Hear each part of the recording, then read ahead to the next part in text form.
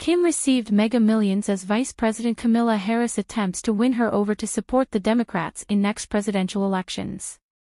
Businesswoman and reality TV star Kim Kardashian visited the White House on Thursday to meet with Vice President Kamala Harris about criminal justice reform, which Kardashian has long advocated for. Welcome to Star Updates. If you're new here, please like and subscribe and hit the notification bell so you stay up to date about buzzing updates and hot gists from Kardashians and your favorite celebrities. Harris announced new Small Business Administration regulations that lift some lending restrictions for people with criminal records. Providing these restrictions and reducing and eliminating them will go a long way to ensuring people have a second chance and a chance to succeed, Harris said, isn't it a sign of a civil society when we give people the opportunity to return and give them the support and resources they need? Harris said. Biden has recently emphasized his efforts on cannabis reform and even mentioned it in his State of the Union address last month.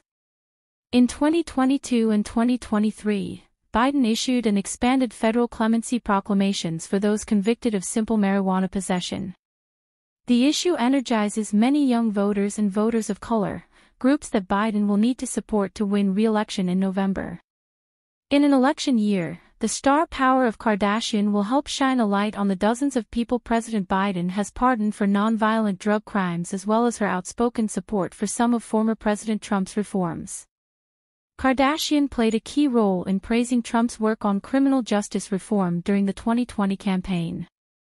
Harris's Thursday afternoon roundtable will feature four of the 16 recipients received clemency from Biden earlier this week. A White House spokesman said all 16 were convicted of nonviolent drug crimes. Harris will also announce the completion of a regulation that would eliminate credit restrictions faced by people with criminal records, the official said. The move is the latest in a series of executive actions taken by the Biden administration on the issue, including pardoning thousands of people convicted of simple marijuana possession. Between the lines, Kardashian never said who she voted for in the 2020 race, but Trump became angry with her after the election. In late 2023, in response to a report in Jonathan Karl's book Tired of Winning, Trump wrote on Truth Social that Kardashian was the most overrated star in the world. Trump also said he helped transfer prisoners, but only when he deserved it, and that was more the case with ex-husband, Kanye West than with Kim, who probably voted for crooked Joe Biden.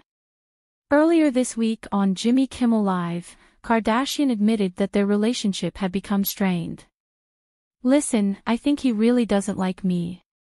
But I'm fine. I think he's made incredible progress on prison reform, she said. Kardashian urged Trump to pass the First Step Act. Flashback, in his book, Trump's son-in-law, Jared Kushner, writes that Kardashian played a key role in commuting Trump's sentence and says he decided to pardon her. Show mercy, Kushner quoted Trump as saying. Let's hope Alice doesn't go out and kill anyone.